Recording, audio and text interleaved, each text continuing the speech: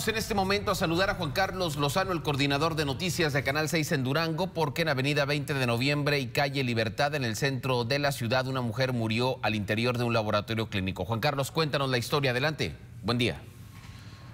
¿Cómo estás Ángel? Te saludo con mucho gusto. Así es, pues este tipo de noticias que no nos da gusto presentarle, pero que ocurren aquí en la capital. A mis espaldas, esta clínica que te comento se encuentra justo en Avenida 20 de Noviembre y General Lázaro Cárdenas, donde pierde la vida una mujer de 40 años de edad.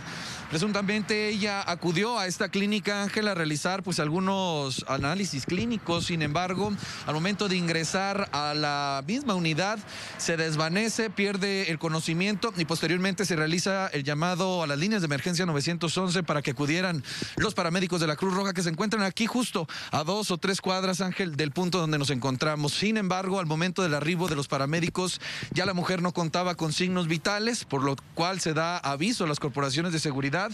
En una primera instancia acude la Dirección de Seguridad Pública Municipal.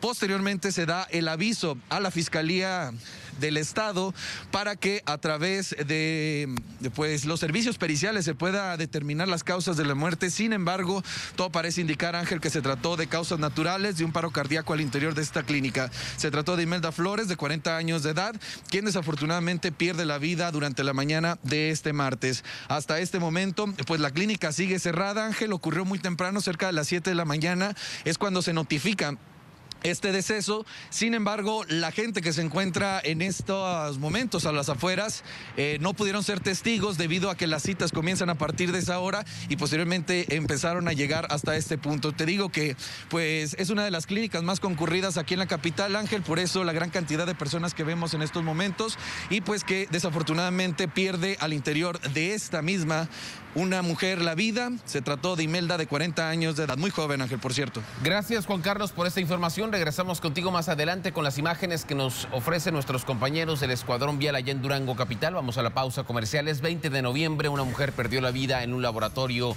de análisis clínicos, aparentemente a causa natural o de causas naturales. Gracias Juan Carlos, buenos días. Vamos al corte comercial, tenemos más en Telediario Matutino. Buenos días.